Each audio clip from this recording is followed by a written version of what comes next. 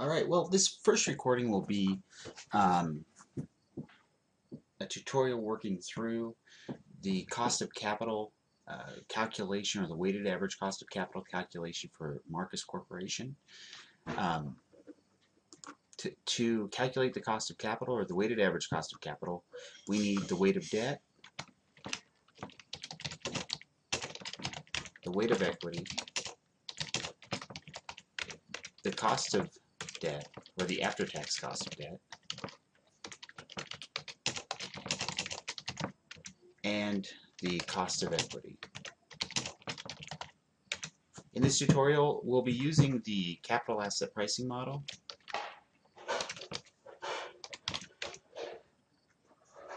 and the discounted cash flow method. to calculate the cost of equity. Uh, with the discounted cash flow method, we have to calculate both the dividend yield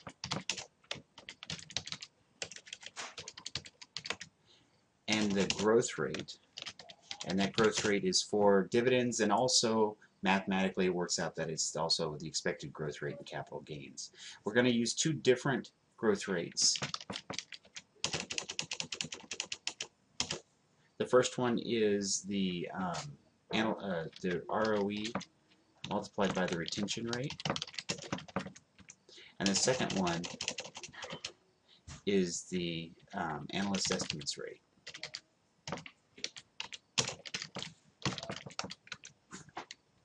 And you can see we have that information right here. So these are uh, the information that's provided. The yield to maturity on Marcus Companies, the corporation's debt is 6.3%. Their market cap, which is the number of shares outstanding divided multiplied by the price per share, is $399.35 million. Their equity beta is 1.42. Um, so this would also be their levered beta, what their the market risk of the company is with their current capital structure. The risk-free rate we're using is 4.6%. The market risk premium is 5.45%. The firm's dividend yield is 2.30%. Their dividend payout ratio, in other words, the uh, proportion of dividends, excuse me, the proportion of net income paid out as dividends is 46%. Their expected tax rate is 38%. And analysts um, expect growth in their dividends to be 8% per year for the next five years. So to start off with the weights, we um, take the market cap, which is 399.35, and then the interest-bearing debt in their financial statements. This is going to be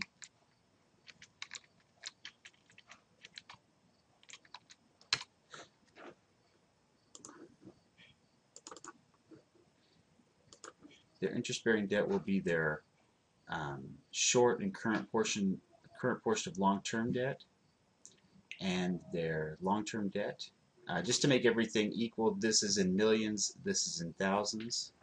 So I'm going to actually change this to 399, 350 to put it into thousands. And then I'm going to set this equal to uh,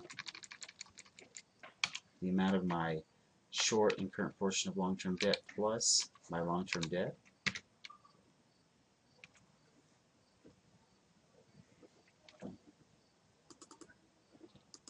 So I get total capital of 674,926.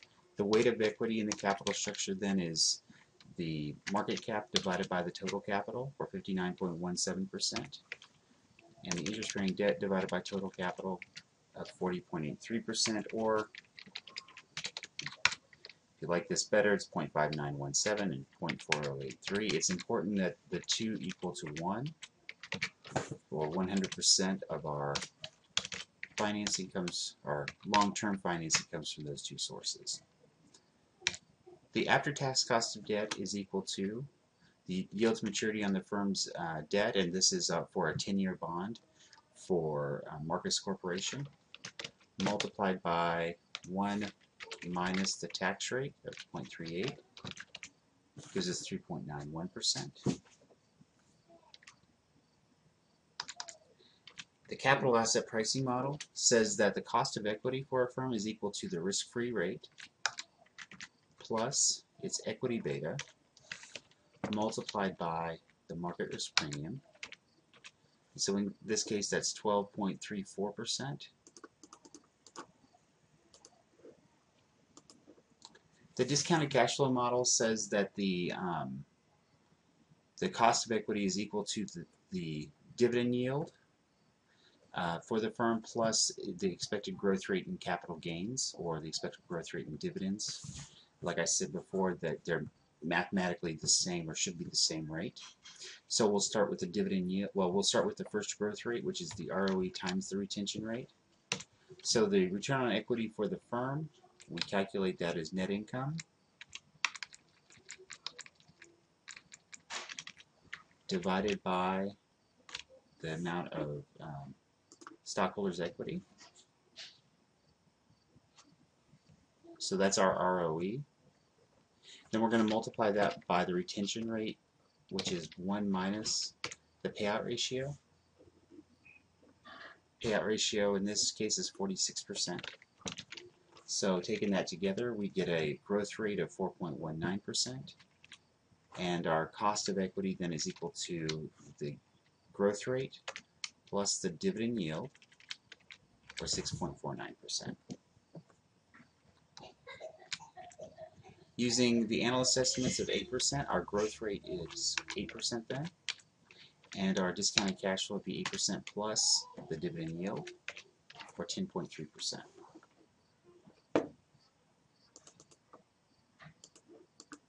So we have three different um, cost of equity, 12.34%, 6.49%, and 10.3%.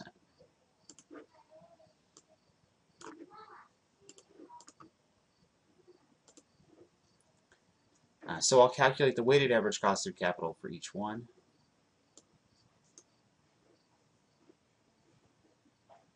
For the uh, capital asset pricing model, we would take the required rate of return multiplied by the weight of equity plus the after-tax cost of debt mu multiplied by the weight of debt. And that gives us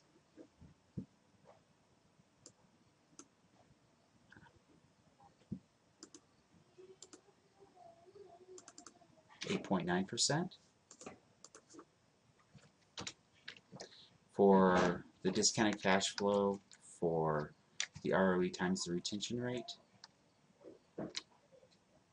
we have the cost of equity is 6.49% multiplied by the weight of equity at 59.17% plus the after-tax cost of debt at 3.91% multiplied by the weight of debt at 40.83% and that gives us a cost or weighted average cost of capital of 5.43% and then finally using the amount for the analyst estimates for the growth rate we have a cost of equity of 10.3% multiplied by a weight of 59.1% plus the after-tax cost of debt of 3.91% multiplied by the weight of debt of 40.83%. So we have three different um, three different weighted average cost of capital and there's a pretty wide range um, between the highest and the lowest. Um, and, and at this point you have to just kind of look at the numbers and ask what makes sense. Is it somewhere in between these numbers? Um, do any of these numbers make sense for the company?